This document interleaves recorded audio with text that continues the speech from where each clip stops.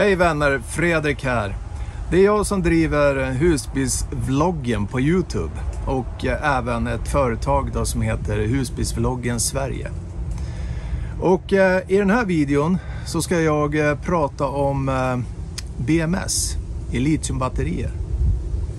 Jag installerar ju och är monteringspartner och återförsäljare för Sunlux. Och Sunlux har ett väldigt smart BMS och eh, ni kanske undrar, vad är ett BMS? Och I den här videon så tänkte jag faktiskt eh, gå igenom vad ett BMS är, hur det fungerar och varför man ska ha ett BMS.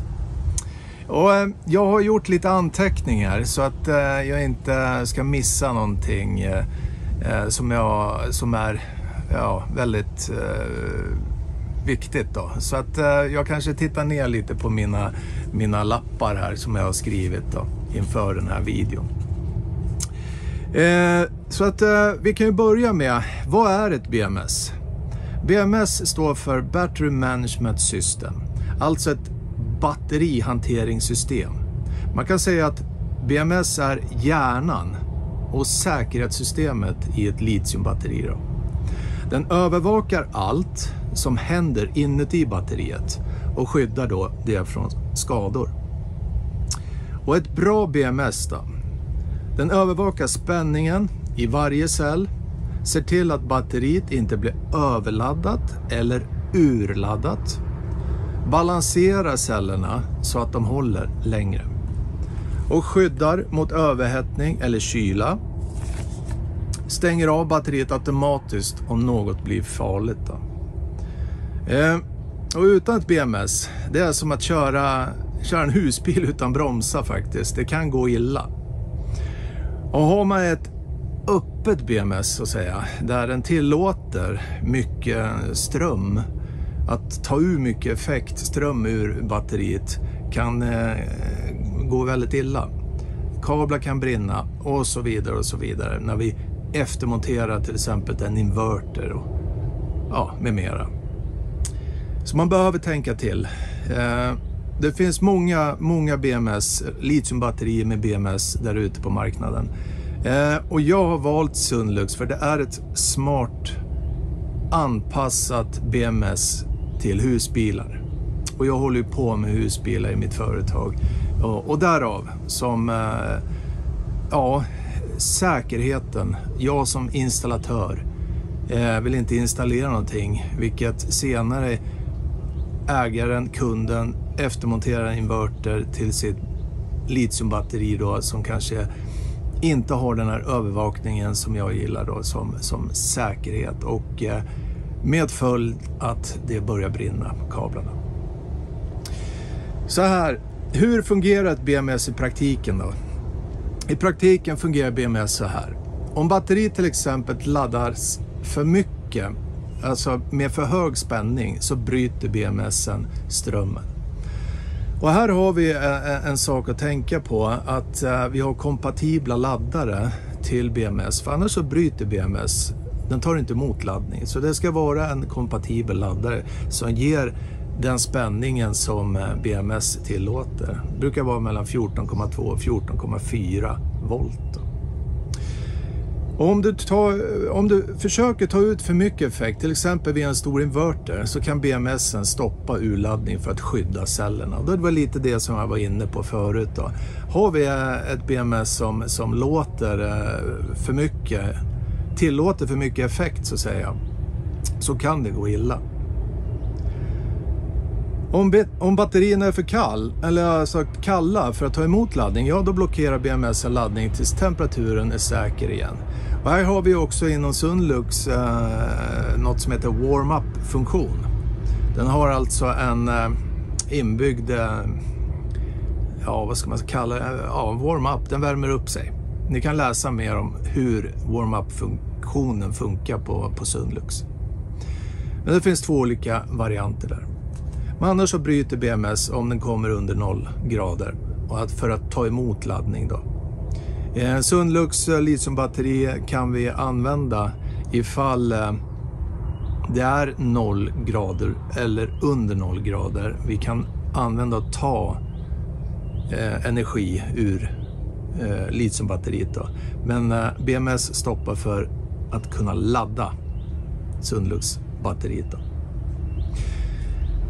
Sunlux Powerbox, som eh, Sunlux litiumbatteri heter, då, har ett avancerat BMS som skyddar mot just den här. Och dessutom har blåtand så att du kan se då temperatur, ström, spänning, eh, state of charge och mer direkt då i mobilen. Den ger skydd mot kortslutning, för hög laddström och fel polaritet. Så det är ett, ett väldigt, eh, vad ska man säga, ett fint övervakningssystem där eh, han, eller han, litiumbatteriet kan tillåta dålig hantering. För han övervakar sig själv. Eh, och Sunlux Powerbox då har ju då, är optimerat för nordiskt klimat. Inklusive då, som jag var inne på, eh, värme då, warm-up-funktionen. Jag jobbar uteslutande med Sunlux litiumbatterier. Och det är inte bara för de har ett smart BMS. Det handlar om helheten. Sunlux Powerbox-serien är C-märkt och testad enligt alla konstens regler och levereras med fem års garanti. Det handlar liksom om helheten här tycker jag. Tar ansvar. Det finns många litiumbatterier som kommer upp på marknaden, säljer av sin batch och sen finns det ingen eftermarknad, ingen support, ingen garanti och så vidare. Men det är en billig inköp. Och kanske lite knasigt BMS då, som tillåter för mycket. Det är därför jag gör den här videon tycker jag, för att nå ut, för att förklara eh, med just BMS vad det är för någonting. Det är en viktig, viktig funktion i litiumbatteriet. Då. En säkerhetsfunktion framför allt. Jag som installatör, som sagt var, har installerat många Sunlux eh, Powerbox som det heter då. Och det har inte faktiskt varit en enda reklamation hittills. Så det säger mycket. Sunlux ger också fem års garanti som jag sa tidigare. Man står för, för eh, produkten och det gillar jag. Jag får ofta frågor. Det här, det här är exempel. Det här är exempel från verkligheten. Jag får eh, till exempel frågor från kunder eh, som har bytt från AGM till litium. Varför slutar batteriet att ta laddning när det är kallt? Eller varför slår det ifrån när jag kör kaffebryggaren? Och svaret är alltid nästan, BMS gör sitt jobb. Den skyddar batteriet. Precis det jag sa innan. Här. Eh, och med Sunlux vet jag att eh, det finns lågtemperaturskydd som blockar laddning under 0 grader.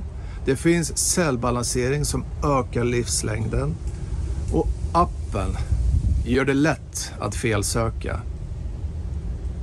Du ser alltså all data i mobilen. Så, vad är ett BMS? Det är din bästa vän när det gäller att skydda och förlänga livet på ditt litiumbatteri. Och vill du ha ett BMS du kan lita på, ja då rekommenderar jag bara Sunlux Powerbox. Det är inte bara för att jag är monteringspartner utan jag har jobbat några år med just litiumbatterierna från Sunlux.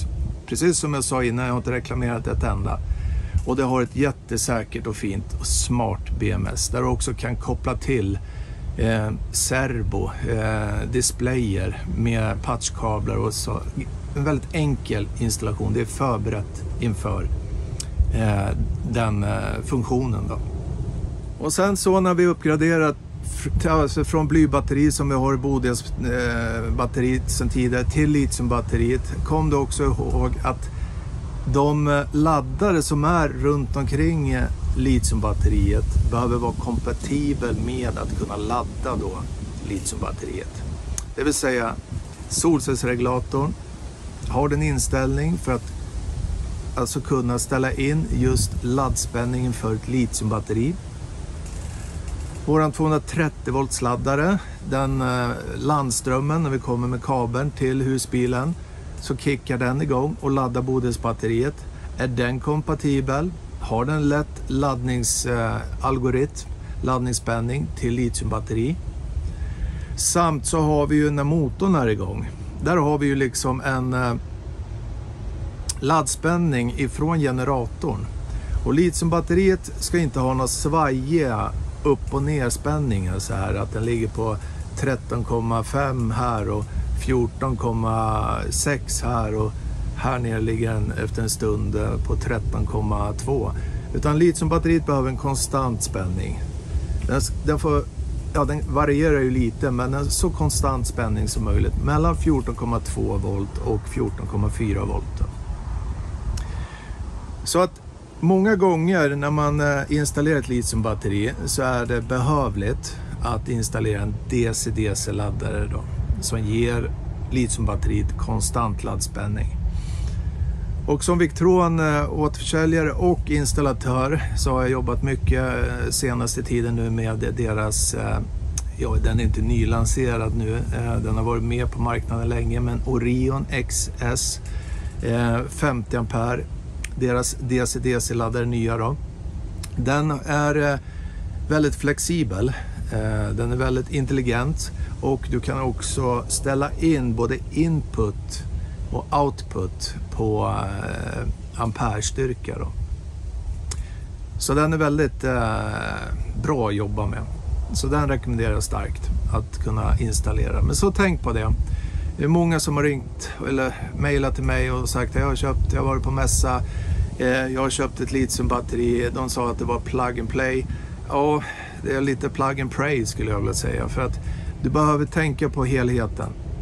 Med eh, framförallt ett bra litiumbatteri, precis som jag gått igenom med ett bra säkert BMS och sen de kompletterande laddningsstationerna då, som finns runt omkring litiumbatteriet då, som ska förse med laddning.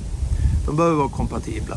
Så det kan bli så här att man köper eh, ett litiumbatteri. Jag vet flera kunder, vänner som har sagt det. Jag har köpt ett litiumbatteri och sen blir medveten senare om att det blir efterkostnader med, och det är inte så lite heller, med att kunna komplettera med eh, så att man får ett bra system som fungerar bra i husbilen.